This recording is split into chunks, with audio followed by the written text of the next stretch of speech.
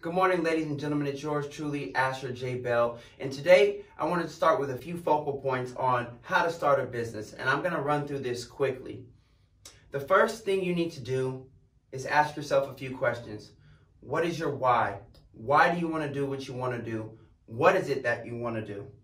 And what will your purpose be? The second thing you want to ask yourself is what problem will you solve? This is going to be very important because when you solve a problem, you're actually able to provide a solution. And with that solution, you're able to bring value to your consumer, your client, or your customer. Number three, what's your niche or what's your industry? You have to figure out exactly what you want to do, and that's going to determine what niche or what industry you're going to fall into. Who is your target market? Who are you going to serve? Is it going to be kids? Is it going to be adolescents? Is it going to be adults? Is it going to be seniors? Is it going to be everybody? But you want to laser focus into who your target market is going to be. Five, this is the most critical step is what's your plan? You need to have a business plan in place on paper, something that someone can review. And also, get a mentor. Get somebody who's successful in your industry. Get some guidance. Get some leadership to help you create your plan and make sure it's bulletproof. Number six, you're going to need to choose your entity. There are a few entities that you can choose, but you should get with a business attorney or get with a CPA because there are different types of tax benefits and liabilities with the entity that you'll choose. Few of them to mention are corporation, there's C Corps, there's S Corps, LLCs, and LLPs. These aren't all of them, but these are a few. You're going to also have to create your DBA.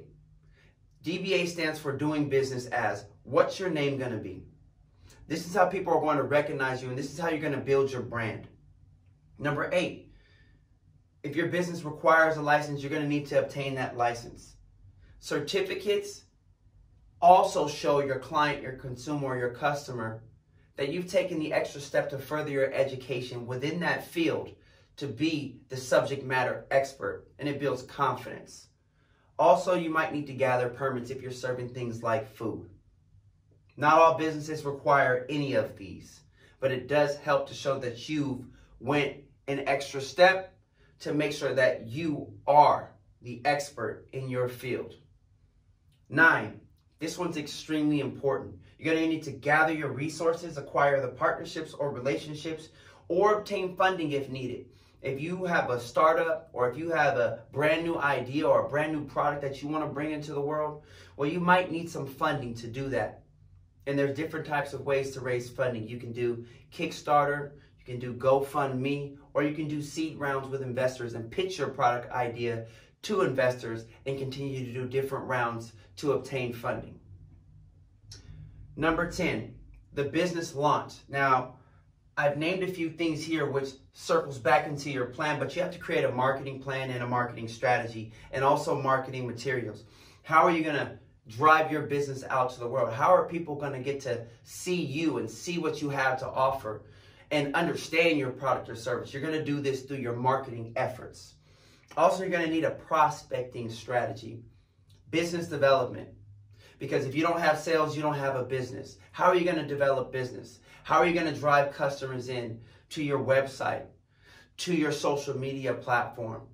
What is your strategy going to be? This is going to be key of how you're going to drive traffic into your business or your platform so you can actually get paying customers, get a client to hire you.